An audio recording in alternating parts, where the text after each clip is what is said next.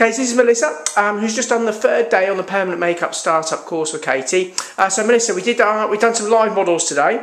Um, so if you refresh your memory back to the morning, we had a lady in um, who had uh, brows and she also had her eyeliner done as well. Yeah. So how did it feel working on your first client?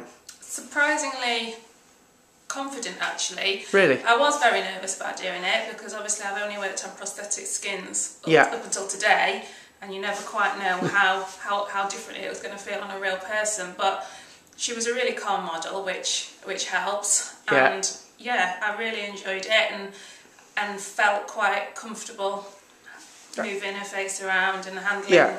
the machinery and the tools and and mixing the pigments so yeah Excellent. And then um, and then we had a very quick lunch, and then we had another client in for brows, and then we also had another client in after that. So Yeah. how were your last two brows?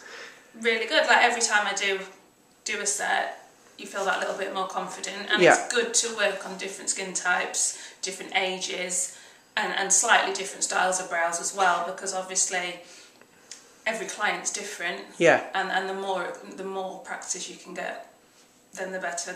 You know, it stands you in good stead for when you're practicing independently. Exactly, yeah, and that's what it's all about, isn't it? It's nice to obviously have Katy there next to you the whole Yeah, time when you're doing yeah. it. And do you think that sort of the one-on-one training helps as well? Yeah, because you've got that reassurance, and Katy lets you do as much as you're confident and capable of doing. But Yeah. at the same time, she's there to keep an eye on things and, and, and offer advice and, and any sort of tips as you go along. So ideal, yeah. Excellent. There's no, there's no way you'd get that level of attention in a class with even another two students at the same Yeah. time.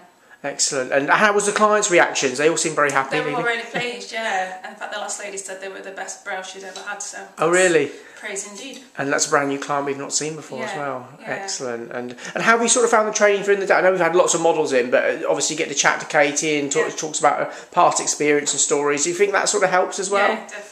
And it personalises the experience as well. Excellent. Well, a very busy day today, and we'll look forward to seeing how you get on tomorrow when we finish up. tomorrow, yeah. Exactly, another busy day tomorrow. Excellent. Well, have a good night, and we'll see you you. bright and early. Thanks very much.